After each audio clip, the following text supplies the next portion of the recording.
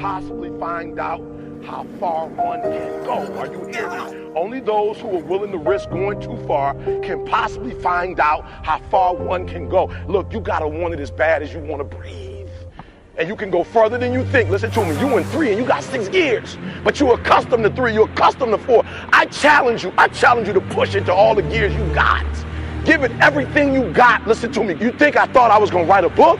Do you think I thought I was going to be an author? Do you think I thought I was going to be marching this year with a PhD? Do you do you think I thought I would be traveling the world, NFL, NBA? Do you think I thought I would be doing this as a high school dropout, as somebody that was home? Do you think I thought I would go this far? But I pushed it. I said, I want to see how far I can go. I want to see what I can accomplish. I want to see what I can do, what I can be, what I can have. I want to see. I don't want to see what I think I can do. I don't want to see what I think is possible. I want to see what my life would look like if I didn't count the cost and if I was willing to go further than anybody else was willing to do. If I had the mentality that, Eric, you got to want it.